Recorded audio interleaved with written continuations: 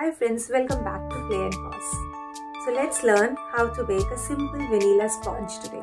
So starting with the ingredients, this is all we need. First, pour in the curd, add the sugar in that. दोनों को whisk से mix कर दीजिए and then add the oil उसको भी mix करने के बाद हम डालेंगे इसमें हमारा ऑल पर्पस फ्लावर तो एक सीव इसके ऊपर रखकर ऑल पर्पस फ्लावर को डाल दीजिए then add in the baking soda and baking powder इन तीनों चीज़ों को एक स्पैटुला की हेल्प से हल्का सा मिक्स करते हुए इसमें छान लीजिए। आधी क्वांटिटी मिक्स करने के बाद हम बाकी की आधी क्वांटिटी भी इसमें छान लेंगे। इसे हमें अच्छे से मिक्स करना है with no lumps and then we'll add in the remaining quantity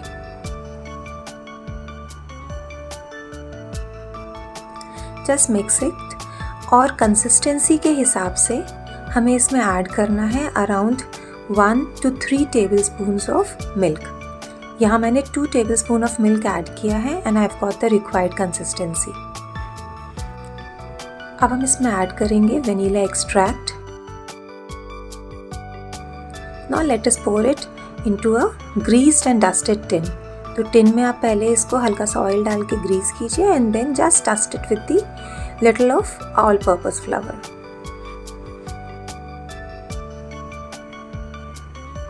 इसे हमें बेक करना है at 180 degree centigrade in a preheated oven for around 30 minutes plus minus 5 minutes depending on the temperature and the size of your oven So my cake is baked now. आप देखेंगे the toothpick is coming out completely clean इसको अब हम ढक कर ठंडा होने के लिए रख देंगे और उसके बाद में इसे डीमोल्ड करेंगे। I am making a two tier cake इसलिए मैं दो केक और बेक करूँगी, जहाँ पे मैं टू कप मेज़रमेंट यूज़ कर रही हूँ। यानी जो मेज़रमेंट हमने अभी यूज़ किया था I have done exactly double of it two cups of all purpose flour one cup of sugar and 1 cup of curd, and accordingly everything I have just made it 2 times. I did not had a big baking mold that is why मैंने एक बड़ी plate में I have uh, attached a greased brown paper to give it a height. I'm baking this cake for my daughter's birthday and she wanted a mermaid theme cake. And so this is how it finally came up as.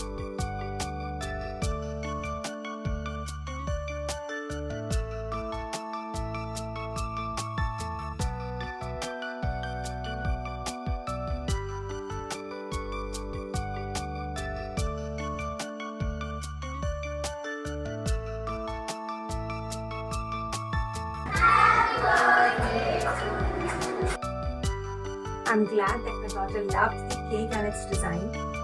I hope आपको भी पसंद आया होगा. Try कीजिए and do leave a comment in the comment section to let me know how it was. Thank you so much for being with me. Do subscribe and like the video.